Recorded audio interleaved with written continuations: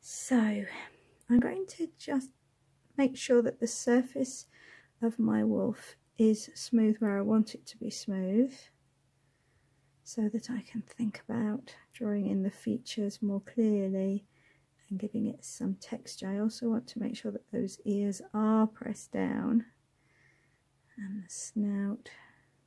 You'll see that I've already drawn in the bottom of his snout. And I'm going to look carefully at my picture.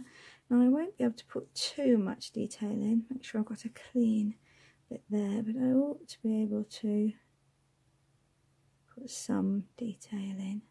Now the way that I found this works best is to draw a line and then quite often I will smudge it a bit and then draw it in again and that allows me to take the clay off. But you have to smudge it back in and then draw again. It's just the way that this method works. And I'm just drawing in those lines from before. Drawing the ears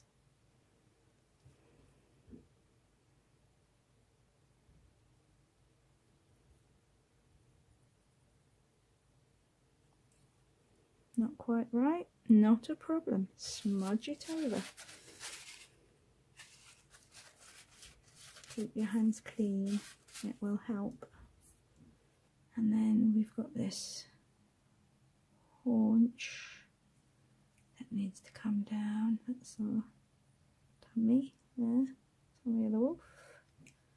And then I'm just going to add the last little bit, which is a few bits of So I want to put some of these marks on, just a few, and just check that everything is working in the way I want it to. You will find that as it dries it can be a bit easier to go back and just sort out any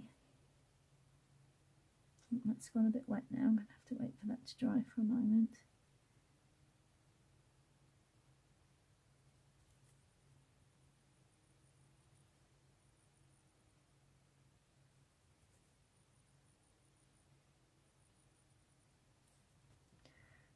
Get many lines in. I'd have to just stick to a few, I think.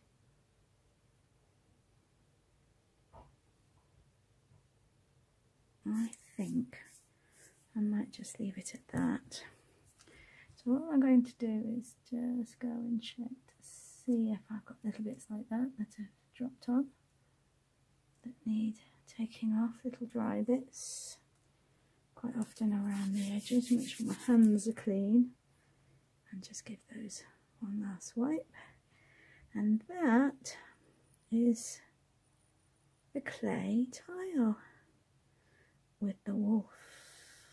Ready to dry and then ready to be painted